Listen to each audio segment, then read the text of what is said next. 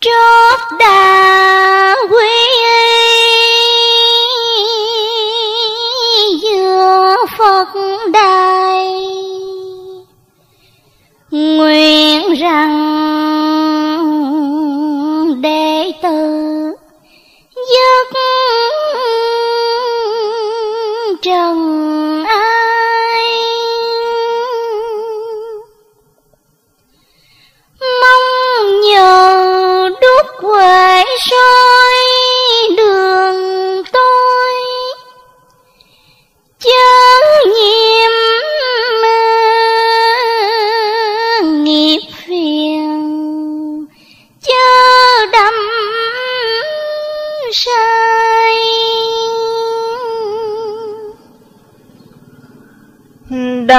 sai một phút cội lành xa. Sớm tỉnh trì tâm trong quỷ tàn. Dội gót theo thầy nương phật cành Kính thưa quý vị quan khách, đại diện chính quyền mặt trận, toàn thể các cấp quyền thị trấn. Kính thưa ban trị sự trung ương giáo hội Phật giáo Hòa Hảo. Kính thưa ban đại diện giáo hội Phật giáo Hòa Hảo tỉnh An Giang. Kính thưa giáo lý viên giáo hội Phật giáo Hòa Hảo trực thuộc ban trị sự trung ương. Kính thưa ban quản tự chùa An Hòa Tự. Kính thưa ban trị sự xã bạn và toàn thể quý vị đại biểu kính mến. Hôm nay là ngày 14 tháng 7 năm Quý Mão, nhằm ngày 29 tháng 8 năm 2023 Lễ thiết giảng giáo lý Phật giáo Hòa Hảo lần thứ 59 tại hội trường ban trị sự thị trấn Phú Mỹ.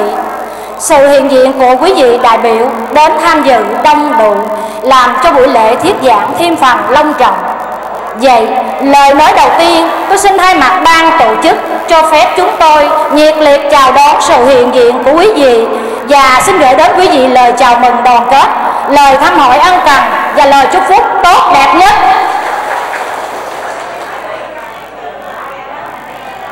Kính thưa quý vị, để đi vào chương trình thuyết giảng hôm nay, tôi xin thông qua nội dung chương trình như sau. Chương trình hôm nay gồm có 3 phần. một Phần nghi thức tôn giáo. hai Phần nội dung. ba Phần bế mạc. Phần nghi thức tôn giáo gồm có một Tuyên bố lý do hai Giới thiệu thành phần tham dự ba Nghi thức tôn giáo Phần nội dung gồm có Phát biểu diễn văn khai mạc đọc lại bài sứ mạng của Đức Thầy, đọc lời phiên bổn đạo tức tám điều răng cấm, đọc một đoạn sấm dạng thi văn giáo lý Phật giáo Hòa Hảo, giới thiệu giáo lý viên giáo hội Phật giáo Hòa Hảo trực thuộc Ban trị sự Trung ương Thiết Giảng. Phần bế mạc gồm có đáp từ của ban tổ chức, nghi thức bế mạc, mời quan khách đại biểu và chư quý đồng đạo dùng cơm. Đó là toàn bộ nội dung chương trình thuyết giảng giáo lý Phật giáo Hòa Hảo ngày hôm nay. Kính thưa quý vị.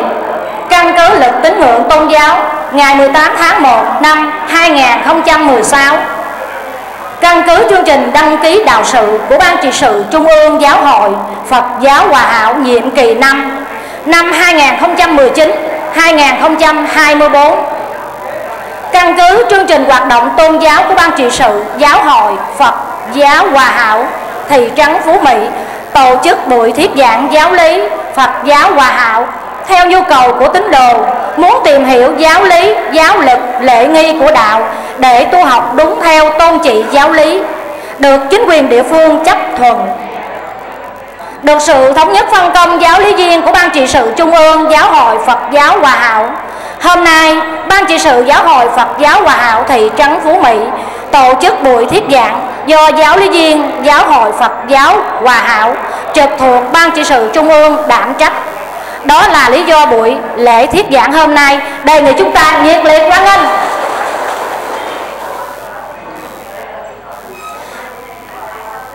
Giới thiệu thành phần tham dự ông Nguyễn Thanh Bình chức vụ giáo lý viên thành viên ban đại diện giáo hội Phật giáo Hòa Hảo tỉnh An Giang, phụ trách địa bàn huyện Phú Tân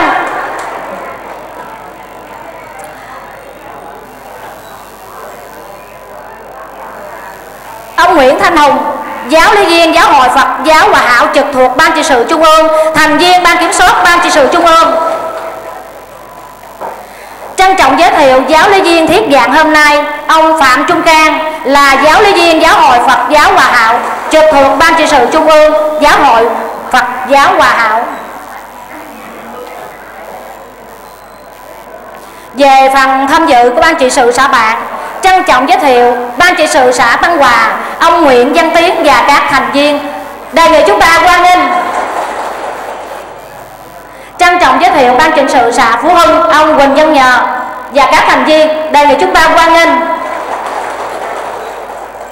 Trân trọng giới thiệu ban trị sự xã An Bình A, ông Hồ Văn Đức và các thành viên. Đề nghị chúng ta quan nghênh trân trọng giới thiệu à, ban trị sự xã Trung Tăng Trung, ông Phạm Văn Sánh và các thành viên. Đề nghị chúng ta hoan nghênh. Nó nghe nè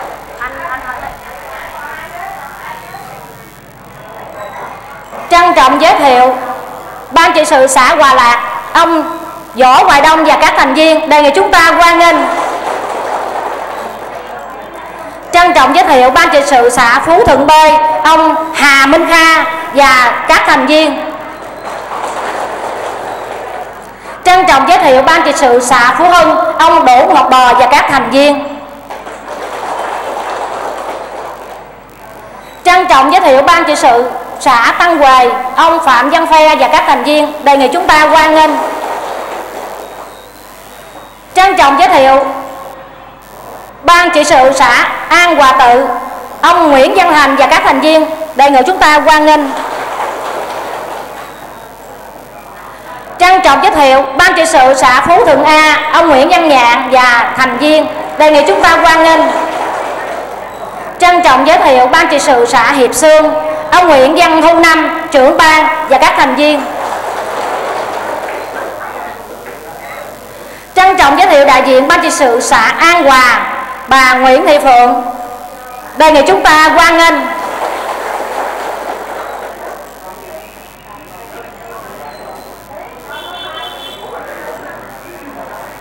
Về ban thị trấn chúng tôi xin trân trọng giới thiệu ông Trương Tấn Phước, trưởng ban ban trị sự giáo hội Phật giáo Hòa Hảo, thị trấn Phú Mỹ, cũng là trưởng ban tổ chức.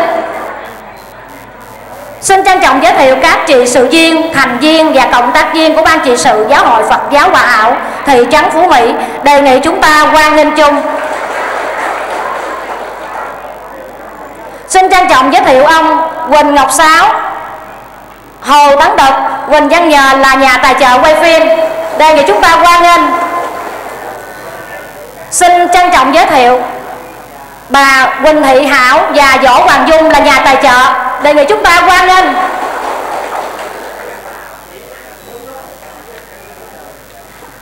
Tham dự còn có các vị trong ban tổ chức Ban trị sự giáo hội. Các bộ phận phụ trách hậu cần Âm thanh, ánh sáng, trực tự, tiếp tăng và cùng tham dự buổi thuyết giảng ngày hôm nay còn có các tín đồ Phật giáo hòa hảo tiêu biểu, các nhà mạnh thường quân và các nhân sĩ trí thức. Đề nghị chúng ta quan ninh chung. Bình Dạ, còn phần tham dự của ban à, thị trấn xã thì có Nguyễn Nguyễn Văn Bình tại thị trấn Chợ Giàng và thành viên. Đề nghị chúng ta quan nghênh.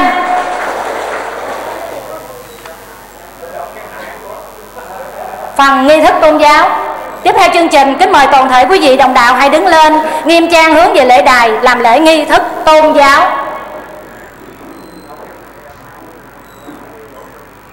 Nghiêm kính lễ đức phật, kính. Thưa thôi kính lễ đức thầy, kính. Thưa xong, kính mời quý vị an tọa.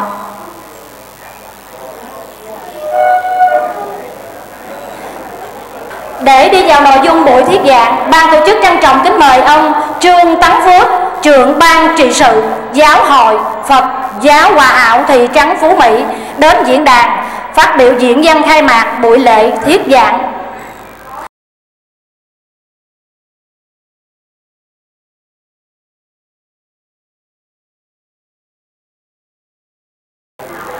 Nam mô Bổn sư Thích Ca Mâu Ni Phật. Nam mô A Di Đà Phật. Kính thưa quý quan khách và chú quý đồng đạo kính mến. Hôm nay trong bầu không khí trang nghiêm dưới mái đạo tràng của buổi thuyết giảng giáo lý Phật giáo Hảo.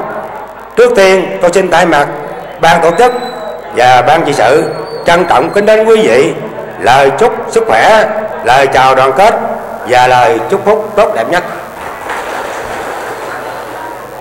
Thưa quý vị, thật là niềm cảm xúc to lớn đối với chúng tôi trong buổi thuyết giảng hôm nay. Sự hiện diện của quý vị đại diện chính quyền địa phương, các vị đại diện ban di sự xã, phường, thị trấn, các nhà mạnh thường quân và chú quý đồng đạo đến tham dự đây là niềm khích lệ tinh thần để chúng tôi nỗ lực hơn trong việc phổ truyền chính pháp của Đức Quỳnh Giáo Chủ. Kính thưa quý vị, đối với đạo Phật giáo Hảo, việc truyền bá chính pháp là một nhiệm vụ vô cùng cần thiết yếu. Bởi có hiểu đúng mới thực hành đúng, tôn chỉ, có hành đúng tôn chỉ thì mới đạt kết quả giải thoát như Đức Quỳnh Giáo Chủ cho biết. Ta yêu chúng viết ra giảng kệ khuyên tăng đồ cùng các tín đồ nghe đạn lời cho có màu tìm hiểu nghĩa làm theo đắc đạo giải pháp học Phật tu nhân Phật giáo hòa hảo vừa mang tính khế cơ khế lý, vừa phù hợp với tình hình thực tế và chính sách pháp luật của nhà nước, góp phần phát huy giá trị đạo đức và tinh hoa văn hóa của dân tộc, góp phần xây dựng đất nước ngày càng phồn vinh, giàu đẹp, đức thầy dạy. Nên bổn phận của chúng ta phải tiếp tục khai thông nền đạo đức, đặng cái tinh thần từ bi bác ái được gieo rải khắp nơi nơi trong bá tánh như thế mới chẳng phụ công trình vĩ đại của đức phật và của tiền nhân để lại, và không đắc tội với kẻ đời sau vậy. Sự tham dự của các đơn vị xã bạn trong buổi lễ hôm nay cũng nói lên tinh thần đoàn kết nội bộ, đạo để phổ truyền giáo pháp của đức thầy mà ngài đã từng kêu gọi cả tiếng kêu cùng các chư tăng với tín nữ thiện nam Phật giáo nên cố gắng trao thông dình đạo hiệp cùng nhau truyền bá kinh lành, làm cho đời hiểu rõ kinh danh công đức bậc từ bi vô lượng với nghĩa nhân dân sâu sắc đó, ban trị sự Phật giáo hảo, thị trấn Phú Mỹ cùng tín đồ trong địa phương quyết tâm thực hiện hoàn thành nhiệm vụ phổ truyền giáo lý Phật giáo hảo đến đây tôi xin thay mặt ban tổ chức tuyên bố khai mạc buổi thuyết giảng giáo lý Phật giáo hảo lần thứ năm chín tại thị trấn Phú Mỹ. Kính chúc buổi thuyết giảng thành công tốt đẹp. Trân trọng kính chào. Nam mô A Di Đà Phật.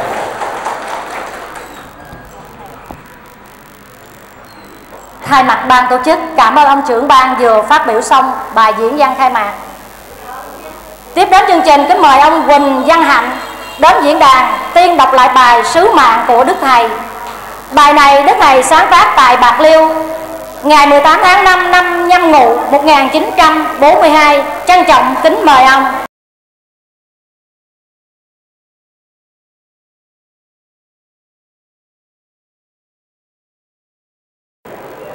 Nam mô Bổn Sư Thích Ca Mâu Ni Phật. Nam mô A Di Đà Phật. Ngày 18 tháng 5 năm kỷ mão, Vì thời cơ đã đến, Lý Thiên Đình hoạch định Cuộc nguy cơ thảm họa sắp tràn lan.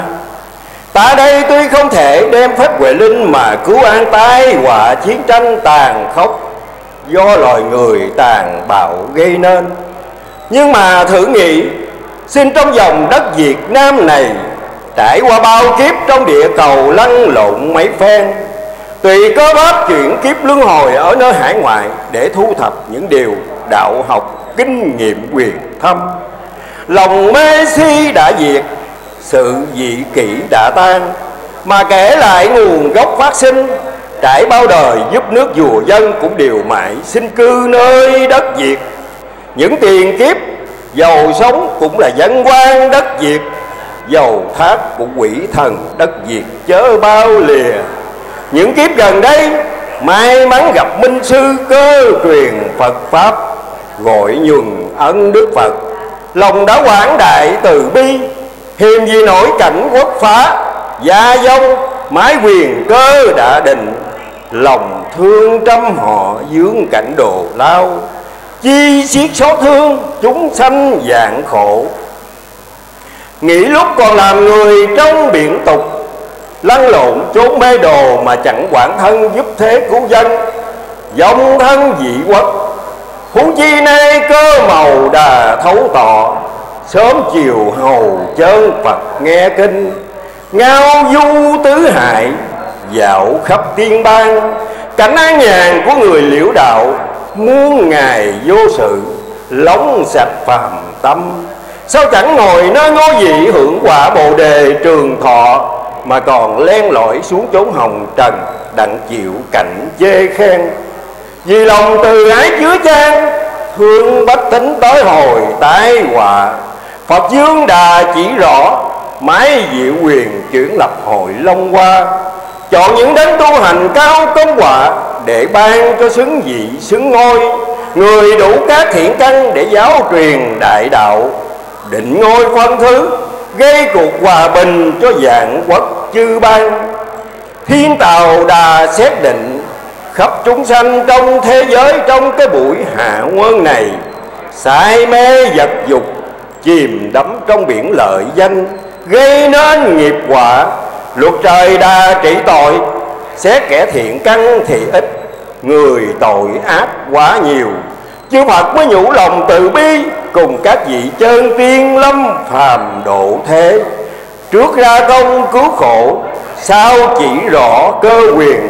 Khuyên kẻ thế hướng thiện hoài đầu, Cải tà quy chánh thì mới mong thiên đình ân xá bớt tội căn Để kiếp đến long hoa chầu Phật.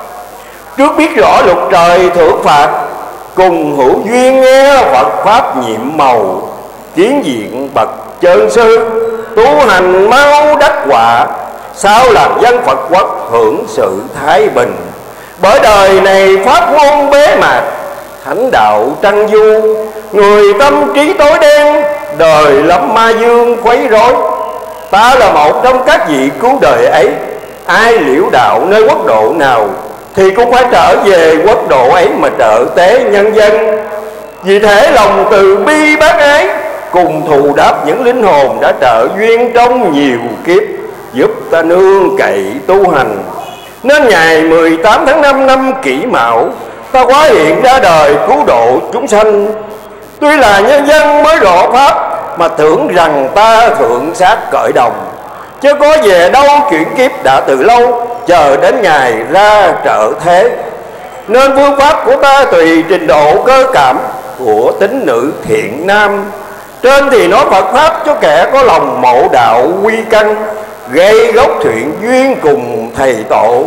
Dưới dùng quyền diệu của tiên gia độ bệnh để cho kẻ ít căn lành nhờ được mạnh mà cảm lòng từ bi của chư vị với trăm quan.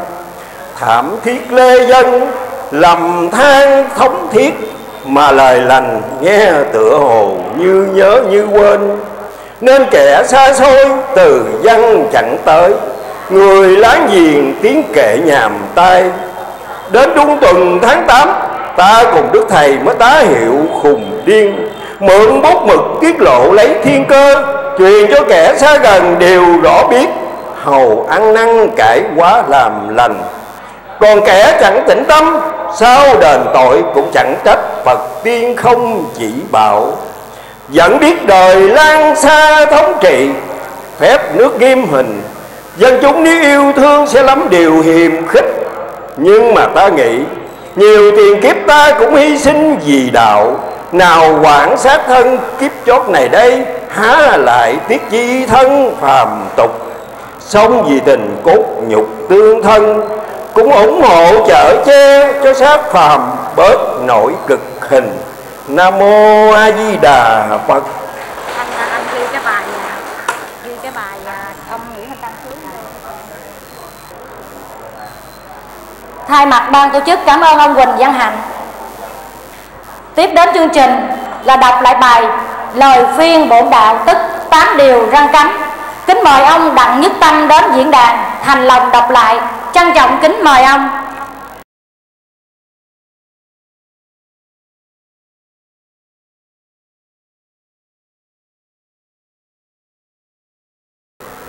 Nam mô A Di Đà Phật. Lời phiên bổn đạo. Khi đã coi giảng, thì phải tự xét mình và sửa sang những thói hư tật xấu. Mình lầm lỗi thì rứt bỏ và giữ những điều răng cấm sau đây.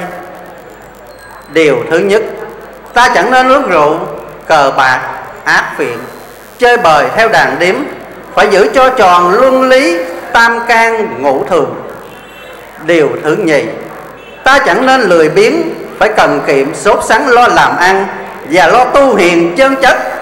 Chẳng nên gây gỗ lẫn nhau, hãy tha thứ tội lỗi cho nhau trong khi nóng giận. Điều thứ ba, ta chẳng nên ăn xài chân dọn cho thái quá và lợi dụng tiền tài mà đành quên nhân nghĩa và đạo lý. Đừng ích kỷ và xu phụng kẻ giàu sang, phụ người nghèo khó. Điều thứ tư, ta chẳng nên kêu trời phật thần thánh mà sai hay hoặc nguyền rủa, vì thần thánh không can phạm đến ta.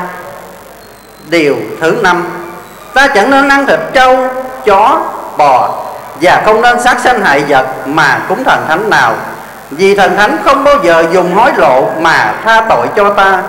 Vì nếu ta làm tội, sẽ hưởng tội. Còn những hạng án đồ cúng kiến mà làm hết bệnh là tà thần.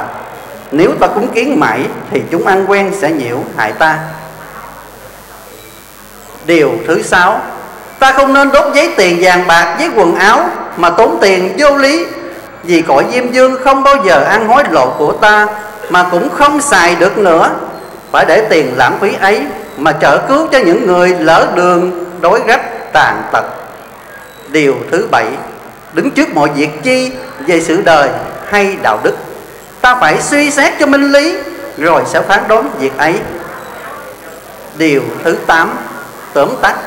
Ta phải thương yêu lẫn nhau như con một cha, dìu dắt lẫn nhau vào con đường đạo đức.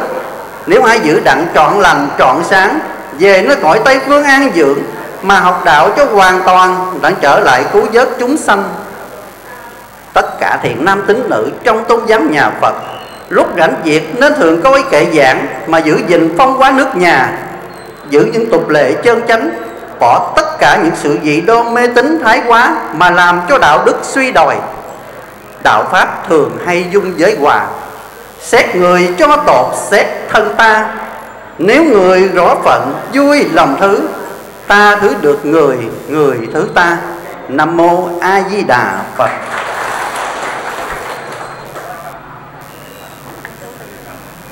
Thay mặt ban tổ chức cảm ơn ông đặng nhất tâm. Kính thưa quý vị đại biểu và quý vị đồng đạo, để bắt nhịp cầu cho buổi thuyết giảng ngày hôm nay, kính mời hai đồng đạo Nguyễn Thị Hồng Quý và Nguyễn Thị Phương đến diễn đàn để ngâm lại một đoạn thi văn trong bài ông Nguyễn Thanh Tăng Sướng Đức Thầy Họa trân trọng kính mời.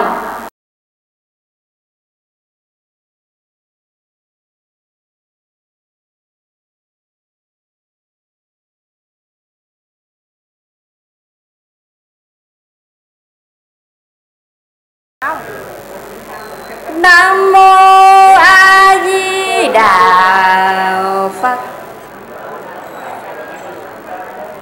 Ông Nguyễn Thanh Tân sướng. Đạo đức mùa ra khắp cõi trần.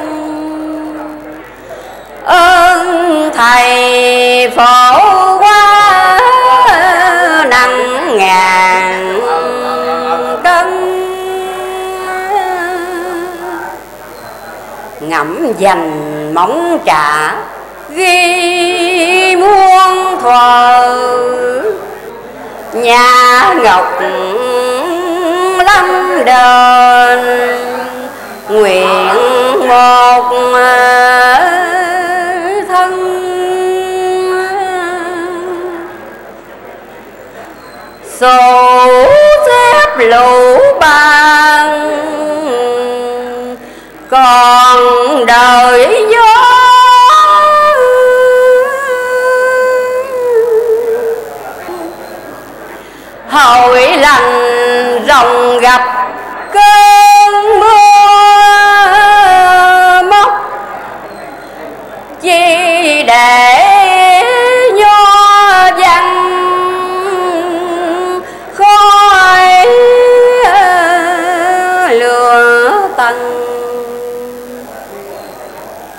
thầy quả và cho thêm. Hương tường người mê lão xuân trần. Ngạc về chưa dẹp lộ quỳnh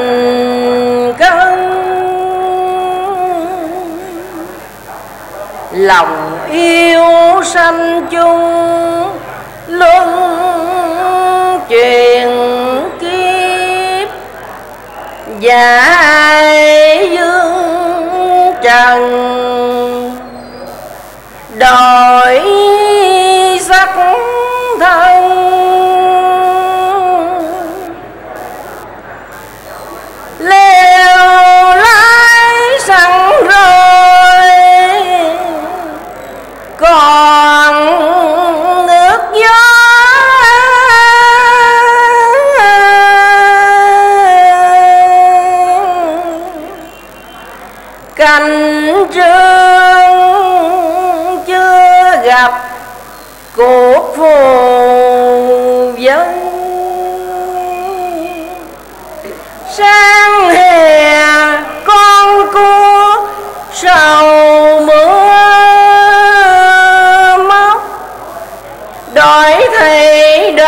đời nay học thôi tầng.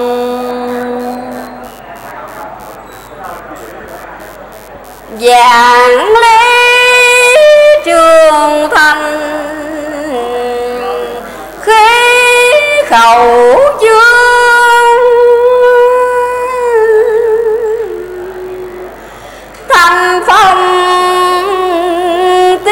tiết hành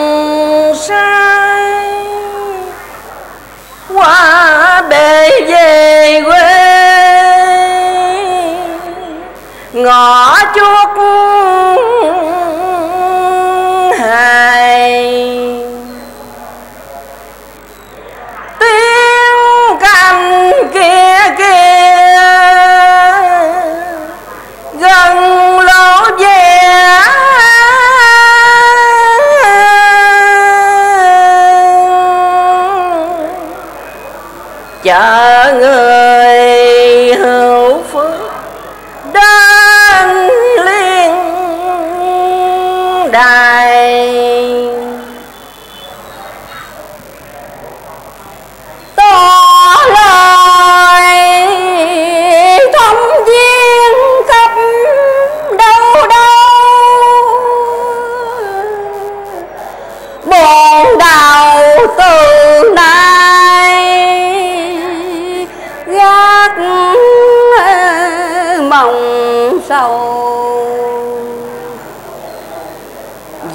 Bay thánh thần đền lộc ca.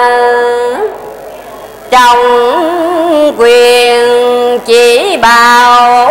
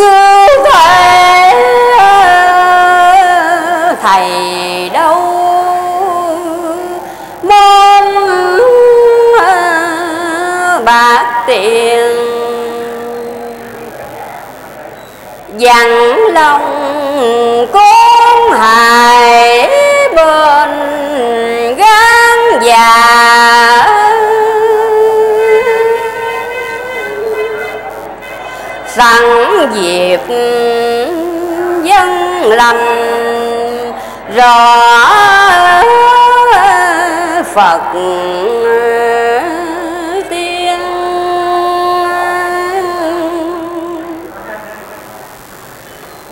Phật tiên thương hết cả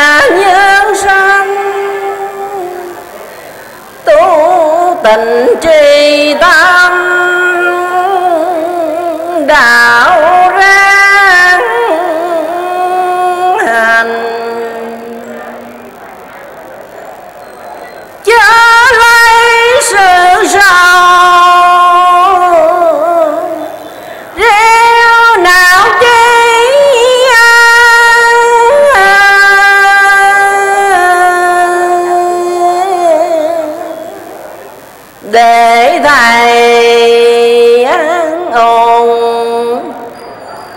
Dần quần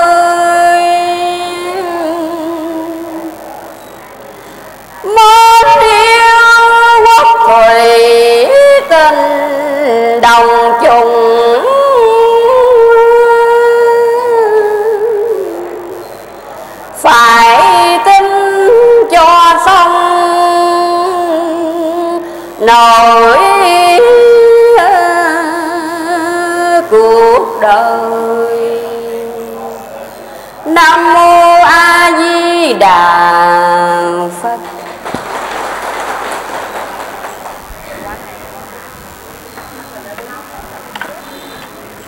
Thay mặt ban tổ chức cảm ơn hai vị đồng đạo.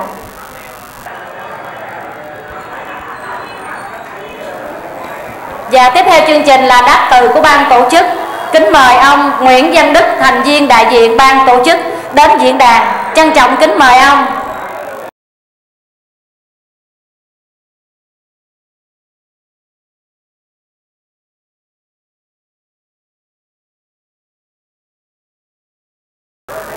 Nam mô Bổn sư Thích Ca Mâu Ni Phật. Nam mô A Di Đà Phật. Kính thưa quý vị quan khách và quý vị đồng đạo kinh mến. Sau gần 2 giờ tiến hành thuyết giảng giáo lý Phật giáo hòa hảo, Đến đây chúng ta đã hoàn thành nội dung chương trình giáo lý viên Phạm Trung Cang Đã đem sở học của mình triển khai nội dung đề tài mạch lạc Làm sáng tỏ tính nhân văn sâu sắc Trong giáo pháp học Phật tu nhân của Đức Quỳnh Giáo Chủ Giúp chúng ta nhận thức thêm ý nghĩa trong tôn trị giáo lý Phật giáo hòa hảo. Tôi thay mặt ban tổ chức chúng tôi chân thành cảm ơn đại diện chánh quyền, mặt trận tổ quốc và đoàn thể địa phương. Tạo điều kiện thuận lợi để ban tổ chức hoàn thành chương trình buổi thuyết giảng hôm nay. Xin chân thành cảm ơn ban trị sự trung ương, giáo hội Phật giáo Hòa Hảo. Xin cảm ơn ban quản tự An Hòa tự đã hỗ trợ và tạo mọi điều kiện thuận lợi giúp cho ban tổ chức chúng tôi thực hiện buổi thuyết giảng giáo lý Phật giáo Hòa Hảo của Đức Thầy thành công viên mãn. Chúng tôi chân thành cảm ơn giáo lý viên Phạm Trung Cang không ngại đường xá xa xôi đến đây, đã thực hiện hoàn thành nhiệm vụ truyền bá giáo lý Phật giáo Hòa Hảo. Xin cảm ơn ban trị sự các xã thị trấn và các nhà mạnh thường quân đã hỗ trợ về vật chất như đại điểm tâm, ăn sáng, nước giải khát và phát thuốc uống cho bà con dự thuyết giảng. Tôi xin thay mặt ban tổ chức, chúng tôi xin tuyên bố kết thúc buổi thuyết giảng hôm nay. Trước khi dứt lời, xin kính chúc quý quan khách và chư quý đồng đạo được giảng sự an lành. Xin trân trọng kính chào. Nam mô A Di Đà Phật.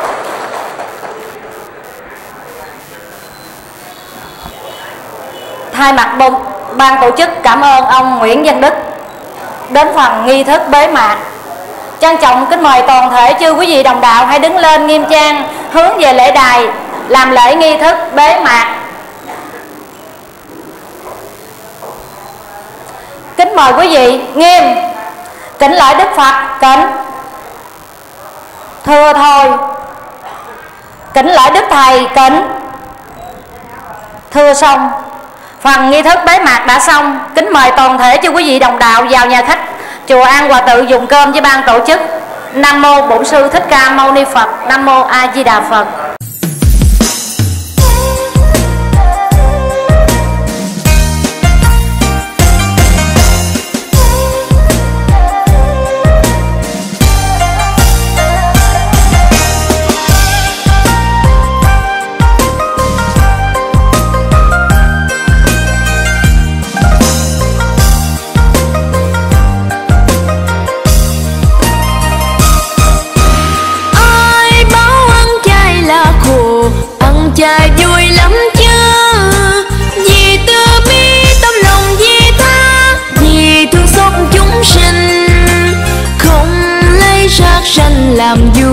Mà dùng chai thanh khiết. Bát canh rau ba chấm tương chao cơm trắng và thật mau này cơm trắng ngần, bay mùi thơm ngất ngây. Lòng mặn ân dày bác nông phu cây cày này rau xanh màu, mưa nắng tháng ngày ra con vui sống không lo hận thù. Ai muốn cho tâm thanh nhàn thì ăn chay đi sẽ biết. Lòng thanh thái mặt đời thay đổi, đường ta đi ta cứ đi. Đã quyết nói gương từ bi thì bận lòng chi ân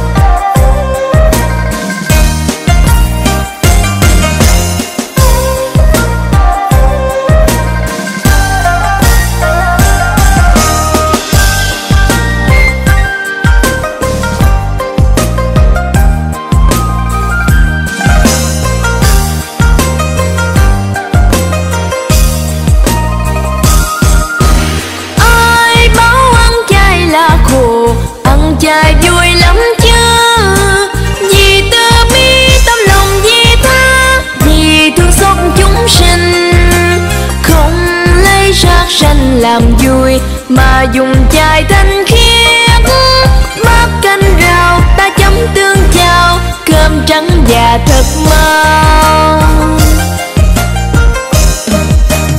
này cơm trắng ngần, bay mùi thơm ngất ngây lòng mặn ân dày bác nông phu cây cây này rau xanh màu, mưa nắng tháng ngày ra con. Muôn loài vui sống không lo hận thù. Ai muốn cho tâm thanh nhàn thì ăn